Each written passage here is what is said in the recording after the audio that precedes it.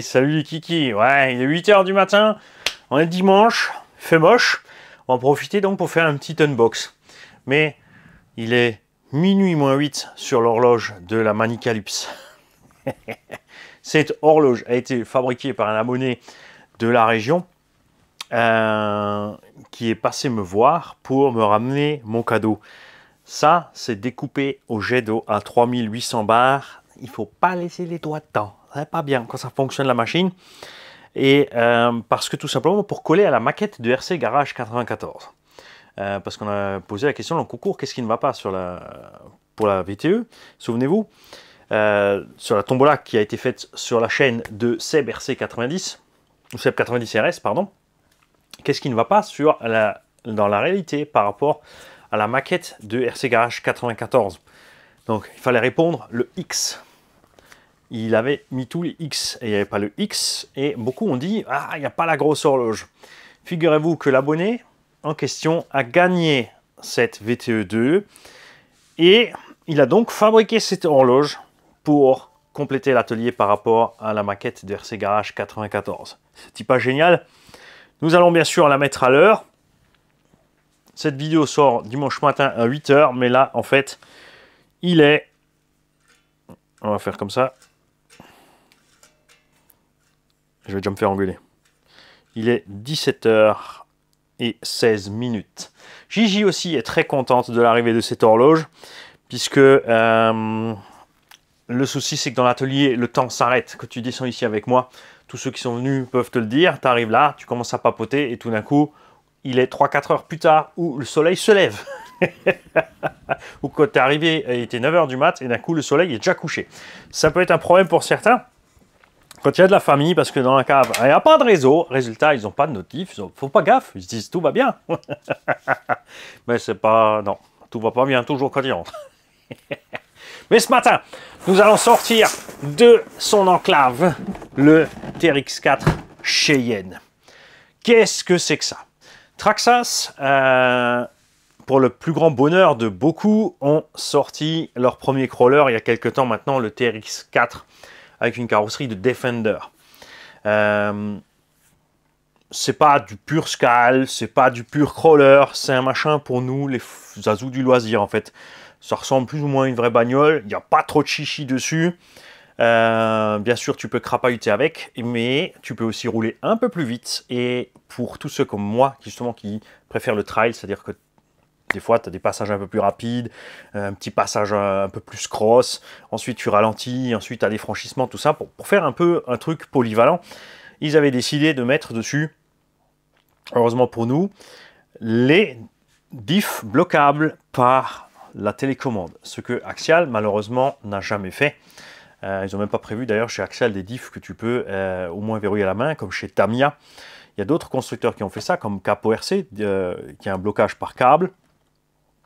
Là aussi, c'est un blocage par câble. il y a Cross RC qui fait un blocage aussi par câble. Et Yikong qui fait le même système aussi. Ensuite, chacun a sa façon de verrouiller à l'intérieur le diff ou pas. chez Tamiya, ils sont restés à une version mécanique avec une vis. Et moi, j'adore ça. J'adore les diffs bloquables et débloquables pour plein de raisons. D'abord, comme dit, parce que j'aime bien rouler un peu plus vite, certainement, parfois que les engins, selon le sentier sur lequel tu es. Ensuite, aussi, euh, des fois, certains passages, tu es obligé d'avoir un peu plus de puissance dans l'intérêt d'une deuxième vitesse. Ça aussi, les autres ont, bien sûr, une boîte 2. Mais, quand tu crapahutes, des fois, il faut pouvoir déverrouiller le diff arrière. En général, sur la plupart des modèles qui ont ce genre de choses, tu peux bloquer d'abord le diff avant, ensuite l'arrière, parce que la télécommande passe tout simplement euh, sur un split de la voie ou euh, sur un seul bouton qui enclenche une voie et ensuite l'autre. Sur certaines radios, si tu fais perso, tu peux bien sûr débloquer à gogo soit l'avant, soit l'arrière. Certaines machines, et c'est très rare, avaient un blocage central. Je dis avait parce qu'elle est plus sur marché. Excusez-moi, il y a un petit souci avec le, le du, eh oui, j'ai branché le machin en télécommande et déjà ça part dans tous les temps. Hein. Bon, c'est pas grave, tant pis. Et c'était le Arma Nero qui avait encore un diff central que tu peux débloquer ou pas. Alors ça, euh, pas utile sur ce genre d'engin. N'empêche que donc, Traxas a sorti le TRX4 avec des ponts portiques. Ce qui permet d'avoir une garde au sol plus haute au centre du pont, Euh, ça, euh, bien sûr, tout de suite ouvert à critique de la part des fans de Scal qui ont dit oui, mais à Land Rover, ça n'existe pas avec des ponts portiques. Il suffit de passer chez un équipementier, tu peux le faire à l'échelle 1, je t'assure. Euh, surtout aux US. Cet engin, bien sûr, relativement coûteux. Sorti de la boîte, je crois qu'un TRX4, c'est à peu près 600-650 euros mais il est bien équipé, les pneus sont corrects, le, la, de franchissement de l'engin sont correctes. Comme toujours, tu as des amoureux d'autres marques qui donc voient ça comme une agression. Euh, leur machin est toujours meilleur, euh, pas toujours objectif. Certains, comme moi, ont tout simplement dit bah tiens, ça c'est cool, on va l'essayer aussi. Et finalement, sont contents avec tout. Je suis content avec Axial.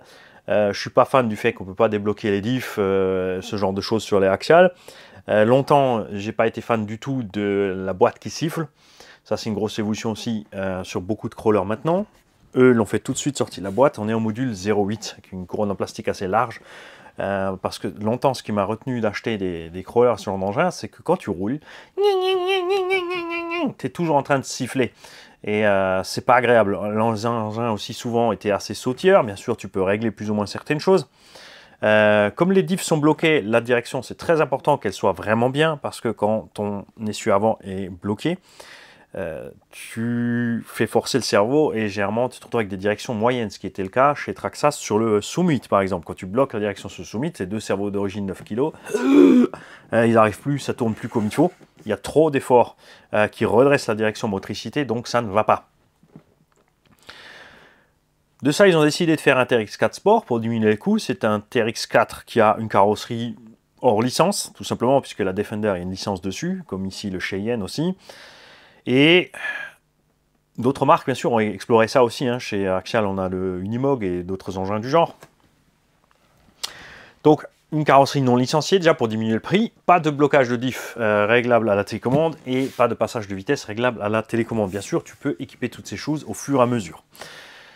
Dans l'univers du Scal, il y a aussi plusieurs Anthrax disponibles. Il y a du 285 ou 95, du 313, du... Oui, 313, attention. Hein. Oh là là là là, si tu dis 315, c'est pas bon, hein, c'est pas à l'échelle. du 325, du 370, et en veux-tu, en voilà. Euh, comme toujours, évidemment, les constructeurs ne peuvent pas adapter l'anthrax de chaque véhicule à l'échelle 1 à la miniature. Ça imposerait de faire que beaucoup de véhicules auraient un anthrax différent en fait, puisque Land Rover Defender diminué de 10 fois devrait avoir cette taille. Le Bronco, qui est un peu plus court, plus long que le Defender, diminué de cette taille, devrait avoir 4 mm de plus, l'autre 3 mm de moins. Donc on a, grosso merdo, des directives.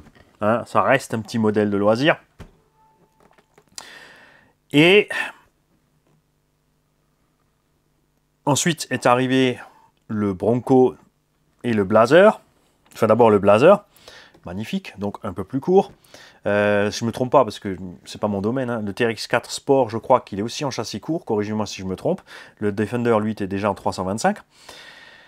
Est arrivé, bien sûr, pour tous les fans euh, de pick-up et de ce genre d'engin, des kits de Reos, donc high lift, ce qu'on appelle. Et ensuite encore un kit de rallonge pour augmenter l'anthrax. Bien sûr, chaque fois, il faut que tu trouves ta carrosserie qui va avec quand tu modifies ton modèle que tu as déjà.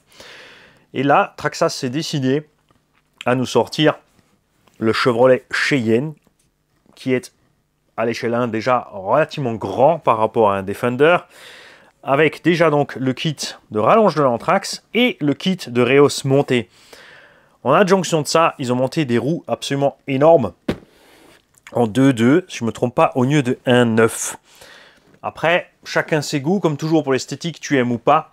Euh, ce sont les jantes du euh, Howler dessus, puisque Traxxas a aussi fait le TRX6 en version Mercedes-Benz AMG et en version camion avec euh, un plateau de chargement à l'arrière.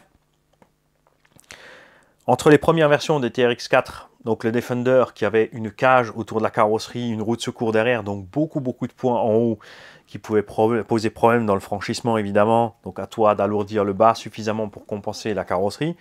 Ça n'empêche pas que si elle est trop lourde en haut, dans certains dévers ça va béner, mais si tu fais du scal, tu veux que ce soit réaliste, ton Defender à l'échelle 1, il va ou autre engin assez haut va aussi baigner assez vite dans certaines positions. Donc c'est toujours à chacun de voir ce qu'il a envie de faire et ce qu'il veut voir. Moi j'aime les ponts portiques, j'aime que ce soit débloquable à distance parce que les vrais aussi c'est débloquable euh, à l'intérieur du véhicule. J'aime qu'il y ait la boîte 2. Certains autres préféreront avoir ce qu'on appelle un dig, c'est-à-dire qu'une boîte qui va bloquer le train arrière. Euh, soit tu vas être... ça te permet en général quand tu as une boîte pilotée comme ça d'avoir un véhicule qui fonctionne en propulsion dans certains cas ou qui a le pont arrière bloqué et la traction qui fonctionne pour faire des manœuvres plus serrées. Ça, ça à chacun de trouver son petit bonheur et de se renseigner un petit peu sur les effets, ce que ça fait ou pas. Donc, si tu aimes bien le trail, et c'est bien un high trail édition ici, donc idéal pour les lits de rivière euh, à sécher ou pas, enfin évidemment pas avec 3 mètres d'eau, hein. Si c'est pas asséché, il faut au moins qu'il n'y ait pas trop d'eau pour que le véhicule puisse passer, c'est clair. Je précise, c'est très important de dire l'engin est donné waterproof sur l'électronique. Mais, mais, mais, mais, comme toujours, quand tu roules dans l'eau, il faut l'entretien qui suit, qui s'appelle démontage total, graissage, huilage, jusqu'au moindre dernier des petits roulements. Alors bien sûr, si tu es que en conditions humides, tu peux passer par un entretien plus simplifié si tu roules vraiment dans l'eau, surtout avec des véhicules lents où tu à l'arrêt, parce qu'il faut pas oublier une chose, c'est qu'un roulement à billes avec un, une bague d'étanchéité par exemple en téflon ou en nylon n'est que étanche, entre parenthèses, quand il fonctionne. À l'arrêt, ça rentre. Donc, quand tu restes stationné dans ton lit de rivière pour faire ta belle photo, les roulements, ils en prennent plein la citrouille. Nous avons donc ici le combo de toutes ces choses sur cet engin, plus les choses qui ont été mises à jour, qui sont arrivées avec le Bronco 2021, à savoir le variateur qui a 5 fonctions réglables au lieu de 3, un meilleur bec. Le bec, c'est le système d'alimentation entre le variateur qui est alimenté par la batterie, qui transforme le courant en un voltage moins élevé pour l'alimentation du cerveau de direction et de la réception des feux, et tout ça. On va lui enlever le petit cellophane, hein, parce que là il fait un peu euh, Morissette Poulaillon, c'est dommage. Tu vas aussi pouvoir découvrir du coup la magnifique peinture qu'ils ont fait sur l'engin.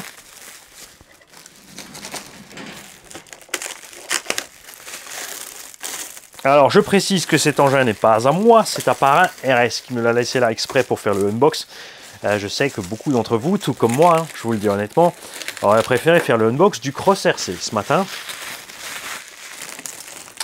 Mais, premier arrivé, premier servi, et euh, évidemment par un RS veut rouler sa machine aussi, donc il serait peut-être temps de lui rendre. N'est-ce pas? On a donc des roues absolument énormes, euh, je peux même pas te dire si maintenant on regarde ça, c'est un Rock Soccer Tamiya 1 dixième. Que tu es un peu en 313. Euh, voilà, on met roue contre roue. Ça fait déjà mouse. Hein. Ça, c'est à peu près la taille des roues qui sont sur les Defender et compagnie. Peut-être même un poil encore plus gros que ce qu'il y a sur le Defender. Euh, c'est. Ouais. Je suis même pas sûr. Est-ce que c'est vraiment du 2-2 ou est-ce qu'ils ont fait plus gros? Donne-moi la petite boîte et dis-moi ce que tu as en pneumatique là-dessus. Est-ce qu'il y a un détail sur les pneumatiques? Si, si, ils disent bien que c'est du 2-2. Même s'il me semblait que ça aussi c'était déjà du 2-2. On est même quand même un peu plus gros que, l'autre. Hein. Donc tu vois un peu la différence de taille. Euh, le TRX4 Sport a, donc, s'il me semble, cet anthrax là. Bien sûr, la carrosserie est plus grosse parce qu'elle passe par-dessus l'engin. Ça, c'est euh, un engin plus typé euh, reproduction, ce qu'ils font en échelle 1 euh, pour rouler un carrière, c'est que les roues à l'extérieur. Donc on a des roues absolument énormes, une garde-sol centrale digne d'un Traxas Erevo ou d'un Summit. Attention, bien sûr, plus l'engin est haut, et plus vite aussi, il va aller se casser la frimousse, surtout avec la carrosserie qui est très très grande, et aussi du coup très très lourde. Et petite anecdote, on ne sait pas est-ce qu'ils ont prévu un truc à venir ou pas, mais regarde bien la plaque d'immatriculation. USA 1. Alors, est-ce que c'est juste un clin d'œil au Monster Truck USA 1 ou est-ce qu'ils ont prévu de nous sortir, basé sur un TRX4, un engin avec des pneus de Monster et de nous faire un USA 1 donc avec deux ponts sur un châssis à l'ancienne, comme étaient les anciens Monster Truck typés USA 1 Je ne sais pas. Hein tu as bien sûr la possibilité de mettre des LED dans le véhicule en option chez Traxas, tout comme par exemple installer un treuil ou deux qui sont aussi en option chez Traxas. On a quand même les poignées de porte, les rétroviseurs, euh, les essuie-glaces, mais tout comme sur le camion. On a une partie des éléments SCAL, mais pas tout. Les vitres sont quand même uniquement des stickers noirs, pas une partie transparente. Euh, les gens qui font du SCAL, ils aiment bien aussi avoir l'intérieur du véhicule un minimum avec un pilote ou autre chose. C'est un peu dommage. Par contre, élément génial chez Traxas pour le SCAL, le système de fixation de carrosserie du Bronco 2021. Il n'y a plus le moindre clips à l'extérieur de la carrosserie. Ça fait vraiment réel. Et pour enlever la carrosserie, tout ce qu'il y a à faire, c'est passer les mains dans les ailes, de tirer vers l'extérieur les clips. Et du coup, tu peux enlever la carreau existe en noir ou en rouge. Et si elle pèse lourd, c'est parce qu'ils ont intégré un arceau à l'intérieur de la carrosserie. Pourquoi faire? Déjà pour pas qu'elle se fasse ratatiner la citrouille trop vite. Et d'autre part, souvent quand tu es en train de crapahuter, tu prends appui sur ta carreau dans certaines situations. Et croyez-moi, cet arceau est vraiment bien utile. Contrairement aussi donc au Defender, qui a un arceau extérieur, euh, en plus assez haut, puisqu'il euh, est complet avec une benne, ils ont fait le même choix que sur le Bronco 21, de laisser un arceau bas à l'intérieur qui fait juste le tour de la carlingue. La carrosserie fait donc 350 mm d'anthrax en gros. Pour te dire, euh, regarde, ici nous avons un Traxas Max V2 d'un anthrax de 350 avec une carrosserie de Kyosho USA One dessus. La carreau Traxas est même un poil plus gros. Elle est plus large et un poil plus long. Regarde-moi ça. Ça fait même un peu trop gros sur le Max V2. Perso, il me manque le petit arceau à l'intérieur, à l'arrière de la benne, avec euh, les petits feux additionnels. Euh, ce ne serait pas exclu, bien sûr, que les petits loulous chez Traxa, c'est prévu ça en option, parce qu'ils aiment bien hein, l'optionnage. Euh, moi, je trouve ça sympa avec le petit arceau là, et les petits feux beaucoup bien sûr de gens qui aiment l'escale vont reproduire ça eux-mêmes utiliser des choses qui existent, euh, des arceaux d'autres véhicules qui sont déjà sur le marché, comme par exemple le SA1. Tu peux acheter l'arceau à part, tu vas pouvoir le mettre là-dessus. En plus, il est chromé aussi si tu veux aller en, injonction des poignées de porte, des rétros, des essuie-glaces, tout ça. La bande ici de chrome, tout ça, c'est du sticker, c'est un peu dommage. Alors chez Traxas, en général, c'est bien mis par rapport à beaucoup de concurrents, mais on peut voir quand même que euh, évidemment, avec les virages, c'est un peu chaud. Donc, tu vois, ici, il y a des endroits où c'est décollé. Donc, pensez bien, la première fois de rouler, euh, de réchauffer ça un petit peu avec un sèche-cheveux ou un décapeur thermique réglable et euh, de bien appliquer les stickers parce que quand la poussière va passer en dessous, ils vont partir de là vite fait. Ouais, tout à fait. Tu peux mettre la carreau sur un... Ouais, passerait bien sur un, un, truggy, en fait. Hein. Je dis ça comme ça. Alors, je vais la poser tranquillement de côté avant de faire un accident. Tu as bien sûr aussi les pare-chocs spécifiques à ce modèle-là, puisque Traxas fait les, pare-chocs spécifiques pour le Defender, pour le Bronco 21, pour euh, le Blazer, etc. Suspension qui a elle aussi été mise à jour à partir du euh, Bronco 2021 et a rétro-effet sur tous les modèles euh, Defender et compagnie. Alors il y a juste un truc, c'est que par exemple, si tu achètes un Defender, demande bien à ta boutique si c'est le modèle récent, le dernier modèle, ou euh, parce que bien sûr il y a des boutiques qui ont peut-être encore l'ancien modèle en stock, avec le variateur qui n'avait que trois fonctions, le bec plus faible et pas la mise à jour sur les suspensions. C'est un peu dommage des fois. C'est là qu'on aimerait bien euh, sur la boîte, sur l'emballage, euh, la petite précision en plus euh, du modèle. Ils ont donc mis de l'huile de suspension plus souple à partir du Bronco 21. la suspension donc fonctionne de façon est beaucoup plus agréable. On a aussi des autres pare-bouts ici qui permettent un ancrage différent des suspensions plus tu vas coucher la morteau, plus tu vas assouplir les réactions du train arrière, puisque la morteau ne sera plus de face pour freiner. Il va se coucher plus, donc ça va être plus souple. Euh, donc selon le véhicule, selon ce que tu fais, selon euh, la batterie que tu utilises, euh, tu peux changer les effets. Pas à l'avant par contre. Il existe en option aussi des petites clés, ils appellent ça, que tu peux fixer sur certains châssis. Bon, ça ne sera pas possible sur TRX4, parce que la morteau est fixée à plat en haut, mais sur les axiales ou autres, où les amortos sont vissés par l'extérieur comme ça, pour déporter toi-même ce genre de choses. Ici, on a donc les amortos longs, qui sont en option sur les autres, les liens de pont plus longs et l'anthrax plus grand. Cerveau de blocage de diff arrière avec son petit sauve-cerveau. La même chose pour l'avant. Et le cerveau de première, deuxième. Ici, pareil, avec un petit sauve-cerveau.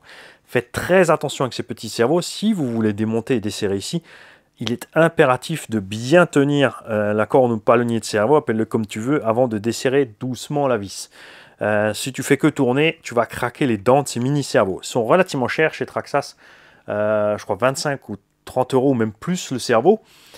c'est assez... C'est pas très raisonnable. Alors tu peux acheter les pignons à part, par contre, pour 7-8 euros, si jamais tu as de la casse à ce niveau-là. perso, moi je préfère les remplacer par les Power HD TR4 qui en plus prennent 7,4 volts. Si jamais ensuite tu équipes autrement ton véhicule, mais ça on y viendra plus tard. Tu lis bien sûr tout ce qui est écrit là-dessus. Là, euh, tu as bien les nouvelles fonctions du XL5. Donc c'est peut-être sur ça que tu verras euh, si tu as les 5 fonctions ou que les 3. Le mode 1, tu as tout simplement marche avant, frein, marche arrière, normal. Le mode 2, tu n'as plus de marche arrière, c'était le mode qui est sur les véhicules qui allaient sur circuit parce que tu n'as pas le droit à la marche arrière. Le mode 3, c'est le mode 50-50. C'est-à-dire que le véhicule est bridé à 50%. Euh, peut être bien aussi en, si tu es bien sûr purement en train de crapahuter parce que tu vas peut-être pouvoir étager différemment. Euh, tu auras 50% de la course des gaz sur 100% de la course de la gâchette. Donc ça sera peut-être même un peu plus fin euh, pour piloter l'engin. Tu as ensuite les modes qui nous intéressent, donc le mode sentier et le mode full crawl. Donc le mode sentier, tu vas lâcher les gaz, le véhicule va freiner progressivement en fonction que tu lâches tes gaz et arrive à zéro, il sera à l'arrêt. En seconde vitesse, puisqu'il est réglé pas trop fort, ce frein, euh, ça va te faire un ralentissement sympathique que tu peux gérer facilement avec la gâchette. On a testé ça sur le TRX6 euh, dépanneuse. En mode full crawl, par contre, dès que tu lâches tes gaz, donc ne lâche surtout pas d'un coup sec tes gaz, euh, parce que tu bloques net le véhicule. Donc il restera bien accroché dans la pente où tu es, surtout en prums. Avec le mode sentier en première aussi, ça freine relativement fort, suffisamment pour bloquer le véhicule. Il va peut-être relâcher un tout petit peu euh, s'il est chargé, par exemple le TRX6, ou si tu as mis beaucoup d'éléments d'option dessus, ça va peut-être descendre un tout petit peu, mais c'est parfaitement gérable. Et de là, par contre, la différence aussi entre le mode sentier et le mode euh, crawl, c'est qu'en mode sentier, bah, tu peux freiner normalement, en plus de ça, et repartir en marche arrière, alors que le mode, mais on ira vérifier ça, parce que peut-être je dis une bêtise là, euh, à vérifier, mais le mode crawl, c'est sûr qu'une fois qu'il est arrivé au frein, au mode 0, quand tu pars en marche arrière, il n'y a plus de frein, tu, pars direct en arrière. Donc il fait avant, arrière, et le frein est bien sur le neutre de la gâchette. Et à 100% au neutre. Et comme dit, ça fonctionne vraiment bien euh, pour rester accroché là où tu es dans la pente ou dans la descente, selon ce que tu es en train de faire. Hein. Ça dépendra de chacun. Le moteur, c'est un Titan 21 tours euh, en 550, donc il est un peu plus long que les moteurs 1 euh, dixième standard. Il intègre une ventilation ici, une petite euh, ailette de ventilation. Et il peut prendre 3S, parce que cet engin peut être piloté en 11,1 volts, donc en 3S. Ce qui lui donne une vitesse en seconde quand même assez agréable. On est dans les 40-45 km/h par là, vu de nez. Ce qui est déjà franchement sympa. Le moteur à charbon, c'est pas cher pour le fabricant. Et toi, en crawler, ça te fait, c'est facile à gérer, c'est très doux à utiliser. Méfie-toi par contre, quand tu es en première vitesse, le moteur tourne relativement vite. Euh, c'est pour ça qu'il a un ventilateur, mais tu n'avances pas grand-chose, donc il n'y a pas beaucoup de vent qui arrive. En seconde, il va forcer quand même un petit peu, même s'il peut emmener le poids de l'engin.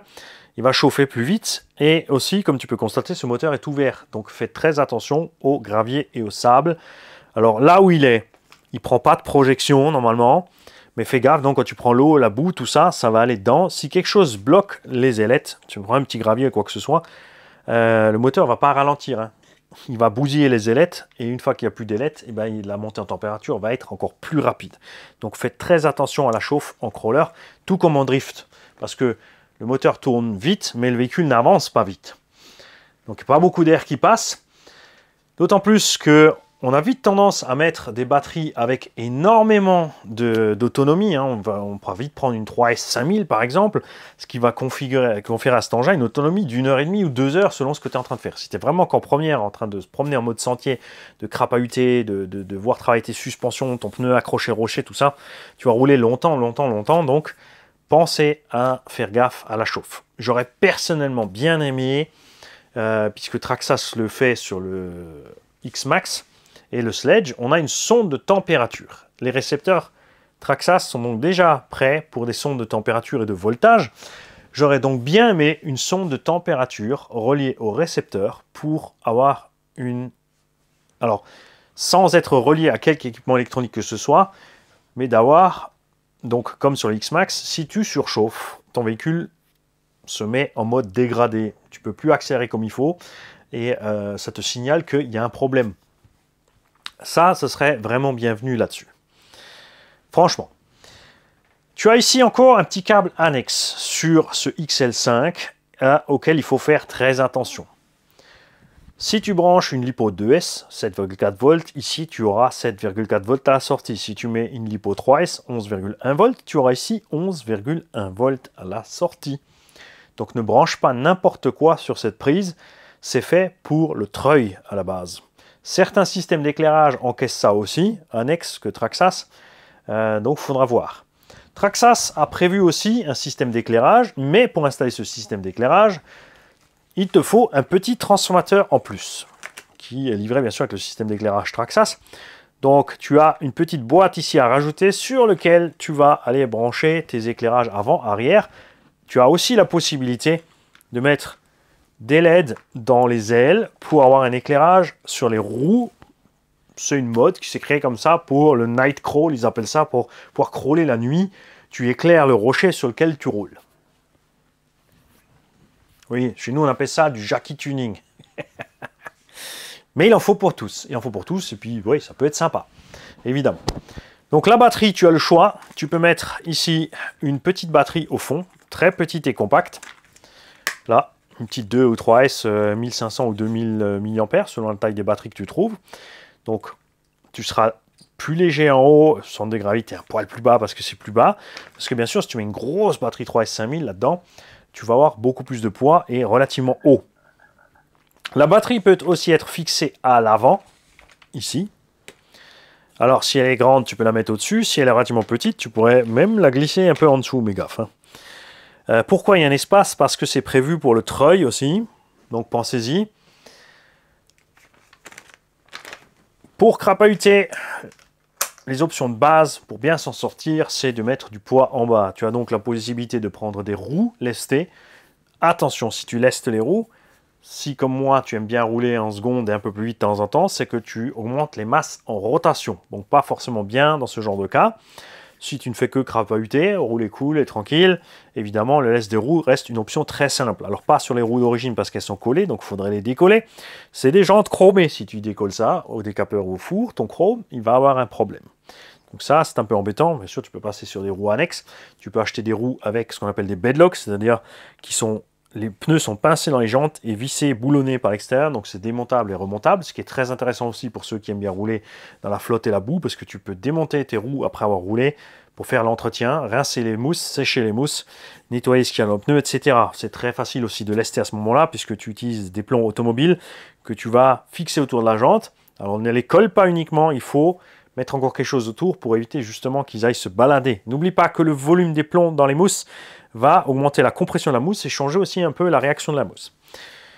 Côté option, tu as des tonnes de mousse disponibles aussi, chez Crazy Crawler par exemple, ou euh, des fabricants annexes de roues, de crawler. Tu as différentes gommes euh, pour différentes situations. Euh, le pneu, qui est livré d'origine avec sur le TRX4, est un bon pneu bien polyvalent. Quand c'est mouillé, ça glisse pas trop. Euh, quand c'est sec, il accroche bien. Il accroche bien euh, dans la terre. Moi, j'ai adoré rouler la terre avec ces pneus. ça passe bien sur la caillasse, mais évidemment, c'est un pneu qui peut tout faire. Donc un pneu qui peut tout faire est toujours moyen partout. Ou peut-être qu'il a juste une spécificité où il est un peu meilleur que les autres. Et ensuite, il y a des pneus qui sont dédiés justement au crapahutage sur la caillasse, qui sont dédiés au crapahutage sur le sol mouillé. En adjonction de ça, donc tu peux mettre tant et tant de mousse et de trucs différents, lester tant et tant de choses au niveau du pneu. Mais donc tu peux aussi lester pour ceux comme moi qui roulent un peu plus vite et plus fort les sorties de pont et ainsi que ici les boîtiers de crémaillère de pont si tu veux parce qu'il y a un pignon ici, un autre pignon là donc tu as encore une réduction ici à l'intérieur. Donc ces pièces existent en option Traxas bien sûr et en option euh, Injora, euh, GPM, tout ce que tu veux, tu en as plein. Tu as couleur bronze, argent, doré, euh, noir avec un fil argenté, tout ce que tu veux, tu en trouves plein, plein, plein. Du rouge, etc. Donc, remplacer cette pièce ici par un boîtier laiton augmente le poids du véhicule en bas sans toucher les masses en mouvement. C'est une des options que je préfère. À l'avant, j'ai aussi encore monté les bras ici, les C-hubs, puisque c'est en C, c'est les moyeux en C, tout simplement. Euh, il existe les carters de pont en alu, en ferraille, en bronze, en ce que tu veux. Bien sûr, les biellettes euh, en acier à pas inversé réglable, en titane, là aussi une flopée d'options. Les roulements qui sont sur le véhicule sont pas mal. Le cerveau de cette nouvelle génération aussi à partir du Bronco 2021, ils ont mis le 2075X avec euh, le palonnier de cerveau en alu. Ce cerveau, à ma grande surprise, même j'étais sûr que dans, dans, le Bronco 2021 qu'on a essayé, je serais déçu de ce cerveau, comme j'ai été déçu sur le cerveau d'origine du Defender et des modèles précédents. Ben non, il n'est pas rapide, mais il tourne vraiment fort. Il y va, même quand tout est bloqué, il arrive à tourner, c'est pas un problème. Il n'y a donc aucune nécessité de changer quoi que ce soit sur le véhicule quand tu le reçois. Euh, pour une fois. C'est pas souvent ça. Hein c'est pas souvent. Surtout sur les marques comme euh, Traxas ou tout ce qui est Horizon B, il y a toujours au moins un truc qui ne va pas, où ils t'ont un petit peu euh, hein, laissé de côté, on va dire. Donc là, avec l'amélioration du Vario, tu n'as plus besoin de toucher ça. Avant, c'est vrai qu'avec le, Vario de base du Defender, pénible. Franchement, euh, hein, le bec pas suffisant, le cerveau qui ramait, pignon plastique, la corne en plastique, enfin, c'était pas génial. Donc, ils ont quand même bien changé là-dessus. Les micro-cerveaux, comme dit, si tu forces pas dessus, il leur arrivera rien du tout. Ils tiennent une vie, c'est pas un problème. Les amortos. Alors, les amortos, il peut arriver que si tu presses dessus, le véhicule coince. Et ce qui se passe, c'est pas bien grave. On a entendu des théories abracadabrantes à ce sujet à propos de tiges d'amorto qui auraient gonflé après de passer dans l'eau. Euh, ouais. Euh, c'est tout simplement ici, dans la coupelle inférieure en plastique, là, euh, tu as bien sûr des joints toriques. Et selon le cas, en fait, ces joints toriques pincent la tige et la freine. Donc il suffit de desserrer un peu le capuchon inférieur d'un pour libérer la chose. C'est aussi simple que ça. Cherche pas plus loin, il n'y a pas de truc tordu. Ces amortos plus longs ont pourtant pas plus de débattement. Le véhicule est globalement plus haut, mais il a été installé dessus une cale en caoutchouc de 10 mm pour pas que la roue aille trop loin. Spécifiquement parce qu'ils ont mis des roues immenses en 2-2. Ce qui fait que si tu passes sur des roues en 1-9, personnellement, je dois dire que je préférais les roues en 1-9 là-dessus. Euh, tu pourras, je pense, enlever ce caoutchouc pour gagner en débattement et en croisement de pont, ce qui n'est pas toujours l'idéal, puisque ton véhicule va en pente aussi baigner plus loin. Le poids de la carrosserie va donc t'emmener plus vite. Comme toujours, il y a un savant équilibre à trouver. Euh, il y a un tas de choses à faire pour que tu sois content avec ton crawler. Mais avant de modifier quoi que ce soit, prends-le comme il est prends ton engin comme il est, quelle que soit la marque, déjà, fais déjà une fois un essai euh, avant de commencer à te lancer dans l'optionnage. Il n'y a vraiment pas besoin de grand chose sur ces engins dernière génération qui sortent au fur et à mesure, que ce soit Axial, Traxas ou autre. Euh, ils font beaucoup, beaucoup d'efforts ces derniers temps, les constructeurs, euh, pour que les clients soient contents. Pour moi, perso, tout ce que je conseille, c'est les carters de réduction de pont en laiton, les quatre, moi, je monte autant que je descends. Souvent, les gens laissent beaucoup plus l'avant que l'arrière. Moi, à la base, déjà, je laisse mes quatre points d'ancrage au sol. Hein, c'est comme quand tu grutes, tu éloignes tes pieds pour euh, éloigner la masse, pour éviter de basculer trop vite. Et ensuite, sur l'avant, souvent, je rajoute encore donc les moyeux en laiton. Si besoin, j'utilise des roues lestées, mais pas souvent. Les roues lestées, c'est une solution simple aussi sur des engins sur lesquels il n'existe pas d'option euh, alourdie euh, pour euh, les ponts, les sorties de pont, etc. parce que trop peu répandu ou un modèle un peu boudé. Donc les optionnaires, évidemment, ne vont pas faire des pièces pour un modèle qui ne se vend pas. ça, c'est ce qui est cool avec Traxas et Axial. Des pièces, tu en as à foison. Je crois que tu peux construire, que ce soit Traxas ou Axial, tout l'engin complet en alu avec des lestes de partout. Euh, il existe une flopée de suspensions différentes, plus ou moins réalistes, euh, avec des effets euh, différents. Là, on est sur une suspension simple. On a un amortisseur qui contient donc de l'huile et un ressort. il existe des amortos qui ont deux ressorts à l'intérieur. Donc le véhicule va d'office toujours rester moite-moite en fait. Il va flotter lui-même. c'est le genre de choses, si tu as envie d'essayer, essaye mais ça dépend ce que tu fais du véhicule. Bien sûr. Il y a des choses, c'est pas la peine de les installer parce que si tu tu fais pas spécifiquement le genre de choses pour laquelle la suspension ou la pièce est prévue, euh, ça sera de l'argent gâché. La notice Traxas, toujours très complète avec le plan détaillé, donc la manière d'utiliser le véhicule et tous les plans détaillés euh, du véhicule pour démonter, remonter. On est bien sur une licence officielle General Motors. Ah, c'est toujours rigolo qu'on paye ces licences officielles hein, pour avoir la miniature, alors que paradoxalement, ça leur fait de la pub. Donc, ça serait à eux de réduire le prix du TRX4. Ce serait bien si Chevrolet dit voilà, le TRX4 Cheyenne est moins cher de 50 euros parce que euh, il y a la carreau du Cheyenne dessus. Tu vois, c'est comme ça que moi je vois les choses. Tant que je suis acheteur, hein. évidemment, si j'étais fabricant, je te la ferais aussi de l'autre sens. tu as un minimum d'outils livrés avec qui te sert à dépanner. N'hésite surtout pas à acheter les tournevis qui vont avec euh, pour bien travailler sur le véhicule. Pour enlever les roues, dans les moyeux, ce sont simplement des petits capuchons qui sont vissés ou plopés. Alors ça, c'est vissé et ils sont vissés sur le filetage qui dépasse ici. Donc tu vas pas les perdre trop rapidement. J'adore ces roues. Ces jantes sont superbes. Je trouve ça génial. J'aime beaucoup. Franchement, c'est chouette. Bien. Maintenant, parlons de toutes les possibilités qu'il y a, par exemple, avec la radio. Bouge pas, elle est là. Hop,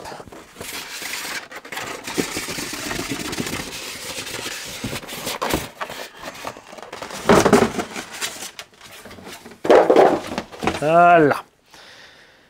La radio TQI a 5 voix. Pas TQI, mais TQI. Première, deuxième vitesse ici. Diff avant, diff arrière bloqué là. Diff arrière débloqué, diff avant débloqué. Perso, me manque une petite LED là-dessus pour indiquer que les diffs sont bloqués, débloqués. Il existe une modification possible pour ceux que ça intéresse un petit pont à faire, un shunt à l'intérieur de la radio. Bien sûr, il faut démonter, il hein, faut toucher un petit peu parce qu'il va falloir faire la soudure. Euh, qui permet, quand tu es en première, donc d'utiliser tes diffs, de les bloquer. Mais au moment où tu passes la seconde, de, automatiquement, même si le levier reste dans cette position, de faire sauter les blocages de diff pour ne pas aller casser les diffs. Alors autant sur les TRX 4 et 6, ça va, qu'on a déjà roulé en seconde avec les diffs bloqués pour voir à niveau solidité ce qui se passe. Mais euh, c'est quelque chose qui est plus utile, par exemple, sur un Traxxas Summit. Là-bas, si tu es en seconde et que tu as oublié de déverrouiller les diffs, tu peux vraiment les exploser.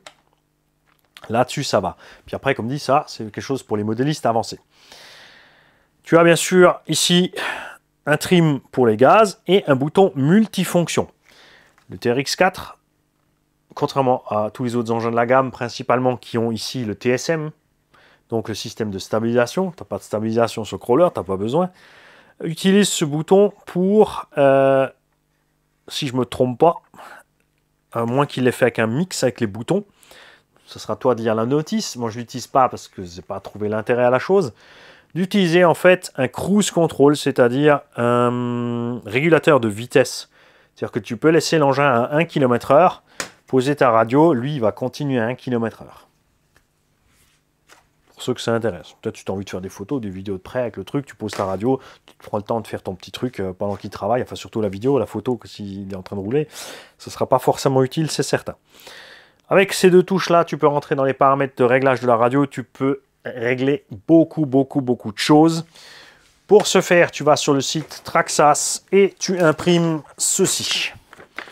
C'est un tableau simple pour entrer dans les fonctions. Donc menu, menu, 7, 7, 7, menu, menu, menu. Avec ces deux boutons, tu te balades dedans et avec le clignotement du LED, tu peux changer énormément de choses. Il y a notamment, tu vois, 9 fonctions que tu peux régler ici sur ce bouton qui vont donc de la sensibilité des gaz, la direction, le trim des gaz, régulateur de vitesse, TSM, contrôle de couple, bouton désactivé, si jamais. Tu as tout ce genre de choses. Tu peux inverser les voies de tous les cerveaux. Tu peux régler les butées de tous les cerveaux.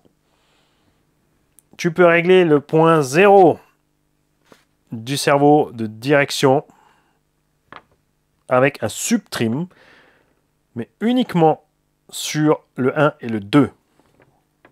Non, sur les autres cerveaux, tu n'as pas ça. Tu n'as pas de point 0 subtrim, il me semble.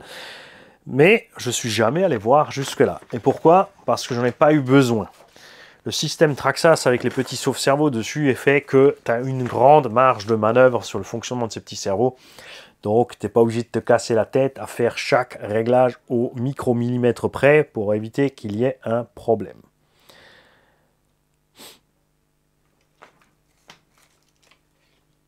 J'étais en train de regarder un truc. Ouais. Le boîtier récepteur ici est pseudo-étanche. Le récepteur dedans n'est pas étanche du tout. Donc, fais gaffe. Cardan en plastique au centre, jamais eu de souci avec. Ne t'inquiète pas, je ne suis pas ce chrome du pare-choc. Ouais, j'étais vu à Harper, Benoît. J'ai laissé le petit, le petit cellophane du sandwich dessus, il n'y a pas de risque. Lien de pont, c'est de la ferraille. À force de frotter, ça va être moche, ça va rouiller. Comme dit, tu as des options de toute matière possible. Euh, il y a des liens de pont avec des angles différents. Tu peux changer les longueurs, tu peux augmenter l'anthrax, le diminuer. Euh, il y a des centaines de possibilités de faire les choses avec cet engin. Ce qu'on se demande toujours, bien sûr, tous, enfin ce qu'on se demande, pas toujours tous, parce que ce qu'on se demande tous, c'est est-ce que ce Cheyenne, justement, en théorie, parce qu'il est plus haut, qu'il a des roues plus grandes, il a donc un centre de gravité plus haut, est-ce qu'ils ne sont pas allés trop loin pour ce qui est histoire de franchissement? Est-ce qu'il ne va pas se renverser plus vite que les autres? Euh, on ne sait pas. Évidemment, il peut mieux franchir des grosses bûches par le centre, des grosses caillasses. Il va garder la liaison au sol plus longtemps, mais il aura d'autres soucis après. La butée sur la morteau, regarde comme elle est bien faite. Tu vois, tu as un bon croisement, pas pourtant plus élevé que ce qu'il y a sur le Defender ou le Bronco. Mais par contre, le pneu va pas aller manger la carreau à l'avant. Moins sûr, à l'avant, ça mange. Regarde. Ça, c'est le genre de chose qui est très dur à éviter en crawler, surtout avec des pneus immenses. Moi, je pense qu'avec des 1.9 là-dessus, et les butées virées, ça doit être un tout petit peu plus sympa. Je te dirai comment il se comporte quand, euh, par un RS et moi, on aura eu le temps d'aller rouler ensemble. Et c'est une des raisons pour lesquelles aussi, bien sûr, on a ici un Cross RC. Alors déjà, euh, j'avais le Rock Soccer qui attendait depuis longtemps, qui est maintenant fini. On va donc pouvoir aller déjà rouler ces deux-là ensemble. Hein? Il est chouette mon petit Rock Soccer, mais il fait vraiment miniature là. Pour l'échelle, on est toujours sur du 1.10, euh, ici sur le TRX4, mais Justement, high lift, rehaussé, empattement, comme dit à 350, euh, on a quelques engins par là. J'ai oublié plein d'engins, euh, passement cross RC. RGT, mais RGT, je crois qu'ils font pas de blocage de diff. Les fans, vous me dites ça. Euh, et quoi encore Il n'y a pas que RGT, il y en a plein d'autres encore. Chez CrossRC et RGT aussi, on trouve des engins plus ou moins longs, surtout chez CrossRC qui fait des pick-up à benne longue avec des essieux jumelés. Donc on trouve des Anthrax, même en indice, jusqu'à 370 ou 380 mm. Je crois en 4x4, hein. évidemment 6.6, on trouve des trucs encore plus longs. Après, il y a du 8.8, il y a tout ce que tu veux. Euh, mais il reste, comme en indice, principalement sur la même largeur. Le Cheyenne m'intéresse évidemment pour son gabarit un peu plus gros que le TRX4, mais reste quand même en indice. C'est pour ça que j'ai continué à chercher d'autres engins. Parce que moi, ce que j'aime bien, ce sont les crawlers 1.8. On a donc bien sûr déjà le Yikon 1408, euh, rebadgé euh, chez Apsima le Yucatan, euh, qui est un poil plus large que ça, qui est un poil plus long, qui a les blocages de diff, qui a la boîte 2, qui est sympa. Mais on l'avait déjà ici. J'ai cherché d'autres engins. On a le Cragsman, un huitième, mais là, on a la boîte qui fait J'ai testé le UT4 Cross RC. J'ai adoré le construire. C'est un peu tordu, mais une fois fini, était vraiment chouette, très solide. Et là aussi, échec, boîte de transmission. Une catastrophe, cette boîte full metal. C'est pour ça que j'ai sorti encore autre chose. Mais ce qui est cool, c'est que du coup, vous venez de le remarquer quand je le dis, c'est qu'on a de plus en plus de modèles de crawler 1.8. Euh, pourquoi je préfère le crawler 1.8 Parce que pour les terrains que j'ai ici, c'est plus adéquat. Tout simplement. Chacun de voir ce qu'il a envie de faire, ce qui lui plaît. Moi, je préfère l'échelle un peu plus au-dessus. J'ai quand même ici, tu vois, un petit Rock Soccer indice en 3.13 euh, pour aller rouler bien sûr Val d'Argent sur le, circuit. Euh, à l'extérieur, nul doute qu'il s'en sortira pas mal aussi. Mais on va voir ça. On va peut-être inverser les roues discrètement. On va pas le dire par RS. Je vais mettre ces roues là. Je vais prendre les roues là. Euh, parce que ça aussi, euh, comme je l'ai dit, hein, les roues de ce TRX4 euh, vont super bien. Elles sont résistantes, elles sont endurantes. Il n'y a pas besoin de chercher le Media 14 pour améliorer les performances. Avec l'engin sorti de la boîte, s'en sort déjà très bien. Je vais te l'approcher encore un petit coup de la caméra, que tu en profites bien. Euh, prends ton temps pour choisir le crawler qui te plaît. Il y a, comme dit, énormément de modèles. Il y a des modèles de base déjà à partir de 200-250 euros qui sont déjà bien sympas. Les modèles de base, bien sûr, dans ces prix-là, n'ont pas de diff débloquable, pas de boîte 2. Certains ont une boîte 2, d'autres un dig, dans les catégories de prix un peu au-dessus, vers les 250-350. En haut, comme toujours, il n'y a pas de limite. Il n'y a aucune limite. En haut, tu trouves des crawlers de Maboule à des prix de Maboule. Il y a des chinoiseries, full alu déjà, à des prix sympas qui fonctionnent très bien. Euh, à toi de décider d'abord avant qu'est-ce que tu vas faire avec ton crawler. Parce que si tu veux vraiment que crapahuter, euh, n'importe lequel de ces crawlers fera relativement bien le boulot au début avec un minimum de lest en bas, allégé en haut pour faire le boulot. Après, si tu cherches des engins comme moi un peu plus techniques avec des déblocages et des machins, des bien sûr, le budget euh, grimpe relativement vite. Il faudra compter à partir de 600 euros jusqu'à pas de limite. Euh, il y a des engins plus axés compétition, des engins plus polyvalents. Donc prends-toi vraiment le temps, fais le tour de toutes les chaînes un petit peu, vois ce qui se fait. Euh, parce que c'est quand même un budget. Alors même si tu pars sur un petit, des fois, on se dit, voilà, je vais partir sur un petit budget, je vais prendre un engin pas cher, 150, 200, 250 euros pour découvrir ce que c'est. Mais peut-être qu'en faisant ça, tu découvriras pas vraiment ce que c'est parce que tu seras pas vraiment content des performances de l'engin ou c'est pas ce à quoi tu t'attendais. Euh, alors que évidemment, si tu peux, si tu as l'occasion d'essayer par quelqu'un cette gamme d'engins un peu plus cher, que ce soit le TRX, le Yucatan, euh, enfin le, les Yikong, euh, les Cross RC, les RGT, tout ça, n'hésite pas parce que tu vas t'apercevoir que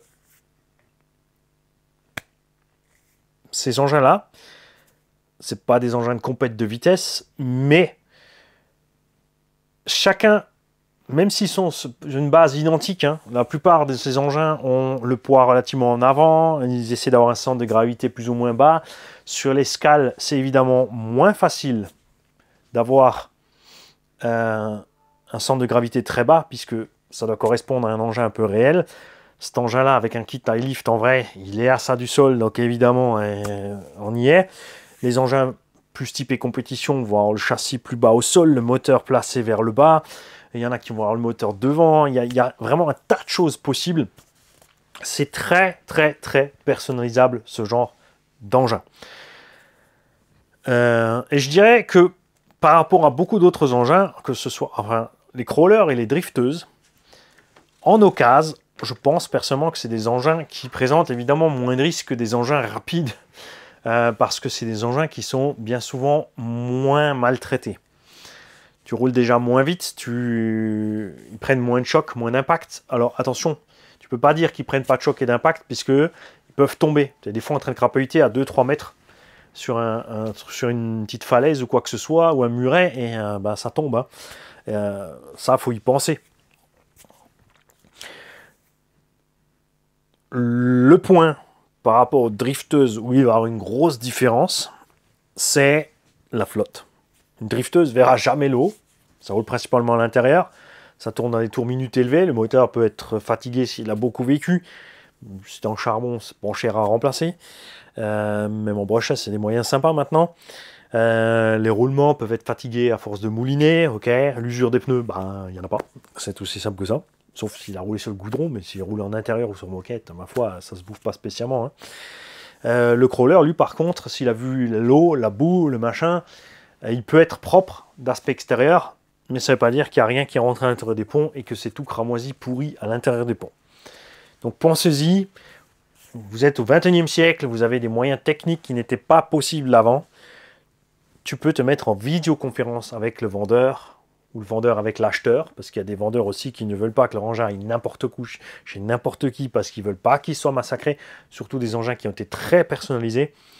Euh, comme toujours, il y a des gens qui font des préparations et ensuite euh, ils vendent ça une fortune parce qu'ils estiment qu'ils ont fait un truc de fou.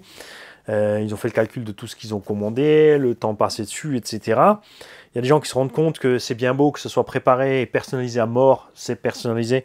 Il faut que l'autre personne en face ait envie de la même personnalisation et que s'il achète le véhicule de base euh, moins cher, il pourra rouler aussi. Donc il y a des gens comme ça qui ont la tête sur les épaules qui vont pas te le vendre à un prix de fou. Il y a comme partout des super affaires à faire et des gens qui, sont amoureux de la chose, qui préparent plein d'engins, qui roulent un peu avec un mois. Et ensuite, euh, ils le vendent, ils passent à la préparation suivante parce que ce qui leur plaît, c'est de préparer les engins. Et euh, on a récemment un abonné qui a pu acheter un TRX4 modifié, vraiment pour la crapahute, avec un super combo, des super pneus, une carrosserie euh, de scale vraiment super bien fait, un prix pas énorme, il a pu aller le chercher, il a pu l'essayer. La personne qui lui a vendu euh, était très contente aussi que cette personne puisse l'essayer. On a Elvina et Lo aussi qui sont allés chercher un TRX4 qui se sont croisés avec le vendeur. pareil, ça s'est super bien passé. Parce que les engins en scale, justement drift et euh, etc. On trouve plus d'amoureux que dans le rayon des véhicules pour faire le sauvageon. Tout simplement. Alors, tu as le budget que pour une caisse. Et tu sais pas quoi prendre. Est-ce que tu vas prendre un Monster Truck pour faire du tout-terrain, mais tu pourras franchir que dalle Est-ce que tu vas prendre un crawler avec lequel tu peux franchir et dans le cas de ces genres d'engins-là, euh, Apsima, Kraxman, euh, Yikong et TRX, donc Traxas, tu vas pouvoir débloquer tes diffs et euh, rouler quand même un peu plus fort dans le tout-terrain. Euh, cette transmission est définitivement solide. moi, je l'ai mis en 3S avec un 3500 kV, plus de 60 à l'heure au compteur. J'ai fait le Zazou dans la gravière, pas de problème. Et je suis pas le seul. le Yikong, ou Apsima est un poil plus fragile sur les diffs. Euh, ce que j'aime bien au Yikong 1 8 c'est le moteur 775 à charbon, donc la taille du moteur qu'il y a par exemple dans un Traxxas Summit. Il roule en 4S. Apsima le conseille qu'en 3 pour éviter les casses. Beaucoup, euh, parce que le Yikong est prévu en 4 et là ils n'ont pas mis d'avertissement, euh, roule ce Yikong en 4S sans le moins de problème. on a pourtant certains qui, même en 2S, 3S, déjà ont eu des problèmes sur le Apsima avec des boîtes diff qui se sont fendues carrément. Euh, Julien notamment, mais ça a été pris en garantie, c'est cool. Donc on ne sait pas s'il y a eu une série défaillante. S'ils avaient fait la première série pour euh, Apsima, donc comme c'est un rebadge du Yucatan, euh, s'ils avaient dégradé le matériel parce que bah, ils les ont achetés moins cher, on ne sait pas trop. Donc si vous êtes dans ce cas-là, signalez-vous, dites-nous tout. Donc par exemple Jam Jam qui a le Yikong un huitième roule en 4S avec, il se régale, ça va super bien. Euh, aussi qui a sorti un Bronco 2021 avec un autre système d'éclairage aussi, qui a fait le 1408 Pro. Le 1408 Pro a le moteur devant, il y a un cardan entre le slipper et le moteur, parce que le moteur est déporté. Et par-dessus ce cardan, ils ont mis la batterie. Au lieu que la batterie soit ici, ils l'ont mis là, donc pour avancer encore plus les masses. Euh, le Bronco n'a pas cette possibilité pour l'instant. Cracksman, jamais eu en main. Je peux pas vous dire. Euh, et Cross RC, va falloir attendre dimanche prochain pour vous. Moi, le temps que vous voyez cette vidéo, euh, j'aurais déjà mis mes sales petits doigts crochus dedans. et euh, j'attends plein de choses de ce Crackman. J'attends de ce Crackman, de ce Cross RC. On fera bien sûr le comparo avec le Cheyenne point de vue dimension pour que vous puissiez voir un peu comment ça se passe. Euh, on a pu ici donc le Yikong 1408 pour faire la comparaison avec le 1408. mais voilà, ceux d'entre vous qui ont déjà le Cheyenne, et je sais qu'il y en a un ou deux là qui ont déjà le Cheyenne, qui ont déjà roulé avec, on veut vos impressions, et surtout si vous avez déjà eu un TRX4 dans les mains, comment il se comporte par rapport au TRX4 normal. Euh, on veut le savoir. Parce que moi, ça risque de prendre un sacré moment avant que j'ai le temps de, euh, de rouler avec. Les kikis, bonne journée, bon dimanche si tu étais aux toilettes, attention, quand tu vas te lever, ne tombe pas, tes jambes sont engourdies, c'est normal. Parce que la lunette a coupé un peu le sang au niveau des euh, biceps crurales. Euh, si tu n'as pas pris ton petit déj, tu seras peut-être aussi en hypo quand tu vas te lever. si tu as des problèmes de tension, tu seras en hypotension. Euh, si tu as les oreillers, tu es, couché tranquille dans le lit avec ta chérie, je vais éviter de bugler Désolé. Évidemment, je suis pas désolé.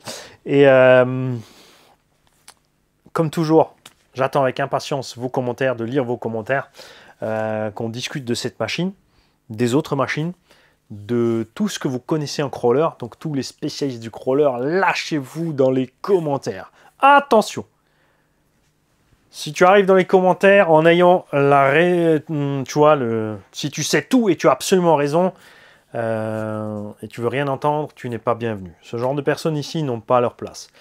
Il y a des gens qui ont énormément d'expérience en crawler, qui ne sont pas butés pour autant, qui savent écouter les autres et qui pourront te conseiller tranquillement.